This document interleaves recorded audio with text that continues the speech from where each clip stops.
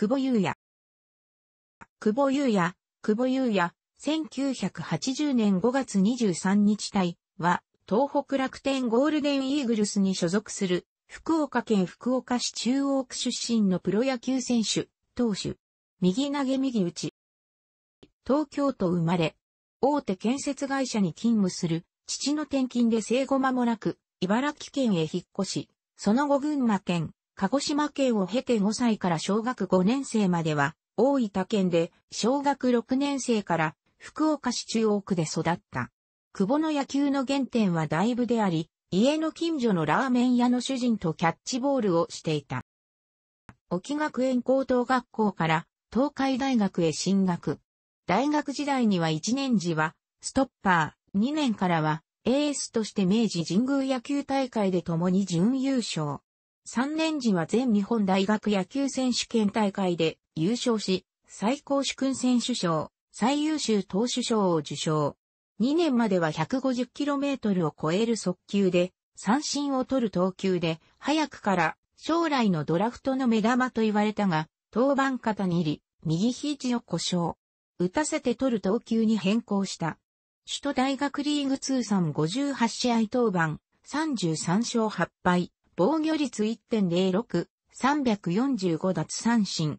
33勝はリーグ歴代5位。最高主君選手4回、最優秀投手4回、ベストナイン2回受賞。鞘師、友也やアジア大学の木佐抜王と共に、第1回世界大学野球選手権日本代表に選出され3位入賞に貢献した。2002年のプロ野球ドラフト会議で、読売ジャイアンツから自由獲得枠指名。契約金1億円、年俸1500万円、金額は推定という条件で入団した。背番号は11、なお、大学の卒業に必要な単位を在学中の4年間で取得できなかったが、巨人への入団後にオフシーズンを利用して、残り単位を取得。結局、大学側から卒業を認定された。2は、公式戦の開幕を1軍で迎えると、3月28日の対中日ドラゴンズ戦でプロ初登板。4月2日の対横浜ベイスターズ戦でプロ初勝利を挙げた。は、イースタンリーグ開幕戦でノーヒットノーランを達成。5月16日の対ヤクルトスワローズ戦ではプロ初関東。7月6日の対横浜戦でプロ初セーブを記録。この年、1軍では35試合、先発13試合、リリーフ22試合に登板し、チーム最多の8セーブを挙げ、防御率4.08だった。はシーズン当初は先発だったが、チーム事情ですぐにリリーフに転向。同様に先発候補であった臨床班と共にシーズンを通じてセットアッパーを担った。また、不振のダン・ミセリに代わり何度か抑えも経験した。最終的に64試合に登板し7勝4敗、7セーブ、防御率3.43。は、林昌範、豊田清、高橋尚成らと共にセットアッパーとして起用される。は、吉武真太郎の加入などにより競争が激化した中継ぎ投手陣を生き残るため、春季キャンプではサイドスローを試行する、その後オーバースローに戻す。先発へ再転向したこの年、のた5月5日の対ヤクルト戦では8安打3、四死球と毎回のように走者を背負う苦しい、投球ながら9奪三振を奪い、プロ初完封を達成。しかし、次の登板で打ち込まれ2軍降格。その後は1軍と2軍を行き来して、シーズンを終えた。9月12日のシーズン初登板で、リリーフとして1回を3者連続三振で抑え、9月16日には、先発で8回1失点で、今シーズン初勝利を挙げた。Y1 軍では、わずか7試合の登板、うち3試合は救援登板にとどまり、先発出場した8月27日の中日戦で1勝を挙げるのみで終わった。は、生え抜き最年長投手となる。この年コーチに就任した木村拓也がシーズン中に急成したことを受け、投手のユーティリティプレイヤーを目指すという姿勢のもとに、再起。当初は配線処理を務めるも後にセットアッパーを任されるようになり、イニングまたぎやロングリリーフなどまさにユーティリティな働きを見せた。同年のオールスターゲームに監督推薦枠で初出場となり、第一戦の5回裏に登板し、打者3人に対して2奪三振と高騰を見せた。このシーズン後半は9月15日には自己最速の時速 151km をマークし、9月21日の対横浜戦では敗退してしまったものの74試合目の登板を記録。2009年に山口哲也が記録した73試合を上回り、球団最多登板記録を更新した。結局、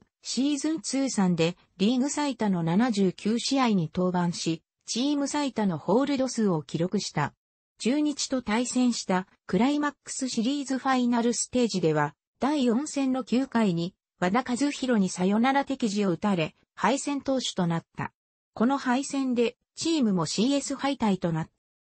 た。は開幕後セットアッパーとして起用されていたが、後半戦から抑えに定着。7月5日の対ヤクルト戦から8月16日の対中日戦まで20試合連続無失点の球団新記録を達成。8月は1勝11セーブ、防御率0.63という好成績を残し、自身初の月間 MVP に選出された。シーズン終了後には、慢性的な痛みを抱えてきた右股関節の手術を受けた。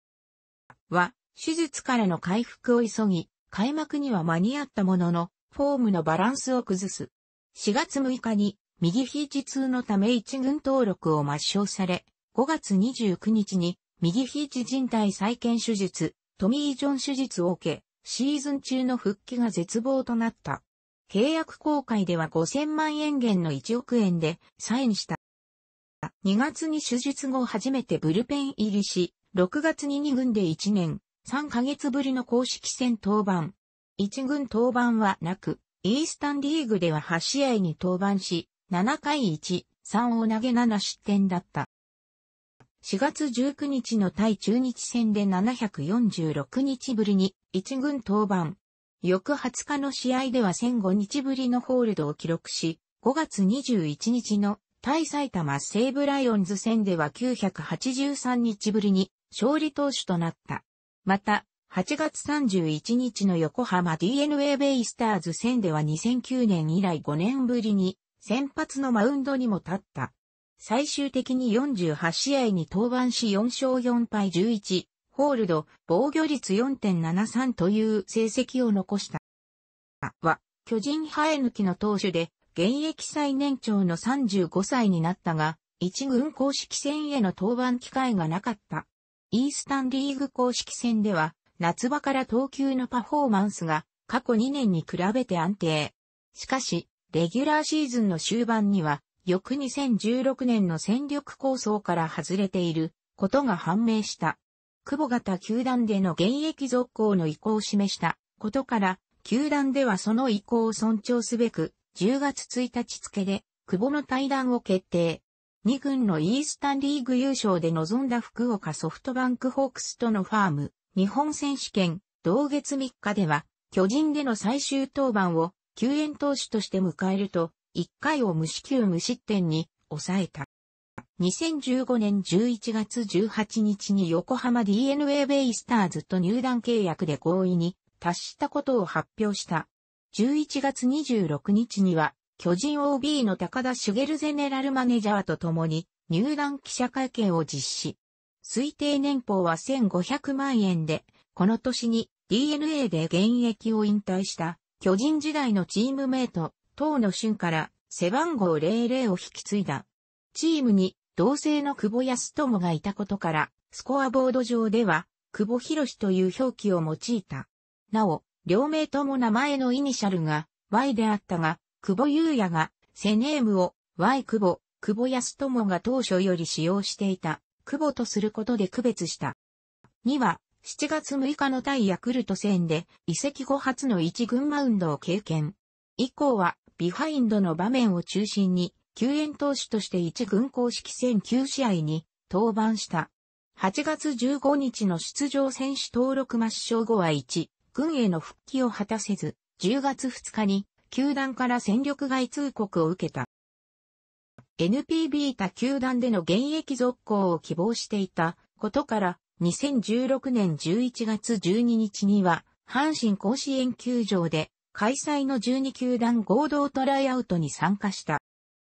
には、2月13日から4日間にわたって、東北楽天ゴールデンイーグルスが久保春季キャンプの練習に参加させた。最終日の16日には入団テストを兼ねて、久保がハンファイーグルス、久保との練習試合に登板。救援で1イニングを無失点に抑えたところ、試合後に楽天球団の星野千日副会長からテストへの合格を告げられた。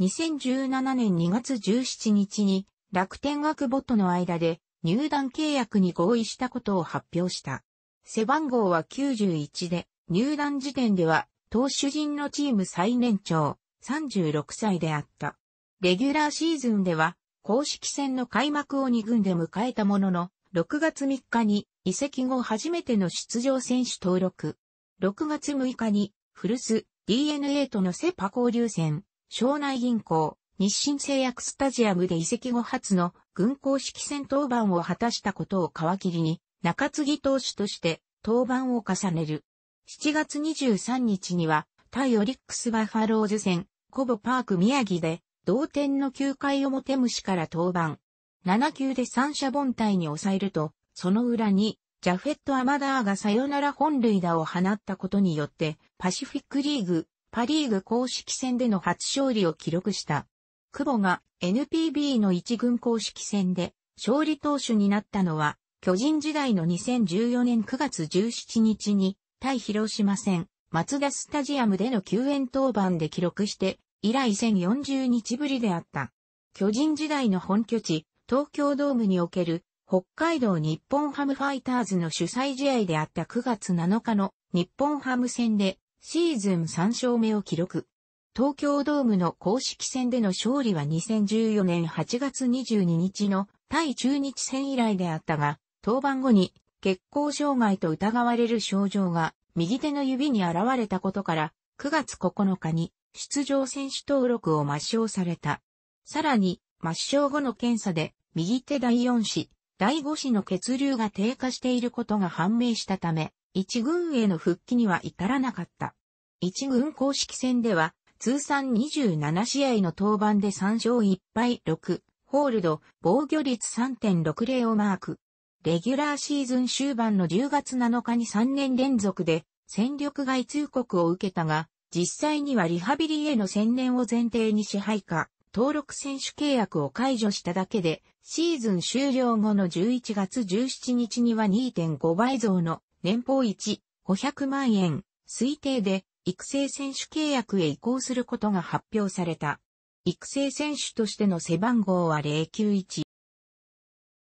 には5月5日付で支配下登録選手へ再び移行。背番号を91へ戻すとともに同日の対埼玉西武ライオンズ戦、楽天生命パーク宮城から一軍へ復帰した。復帰後は、一軍公式戦25試合の登板で、1勝1、西武3ホールド、防御率1.71という好成績をマーク。4年連続の戦力外通告を免れたばかりか、シーズン終了後の契約交渉では、支配下登録選手として、推定年俸1、700万円という条件で契約を公開した。平均球速約時速 141km の速球。連投にも長いイニングの投球にも耐えられるほどのスタミナの持ち主で、東京ドームが本拠地である巨人時代の2009年までは先発からワンポイントリリーフまで幅広く起用されていた。その影響で成績が安定しなかったものの、セットアッパーに固定された2010年から成績が安定。2011年の後半にはクローザーを任された。もっとも楽天時代の2017年に東京ドームで勝利を挙げた際には、同ドームのマウンドとの相性が最も悪いことを告白している。楽しくご覧になりましたら、購読と良いです。クリックしてください。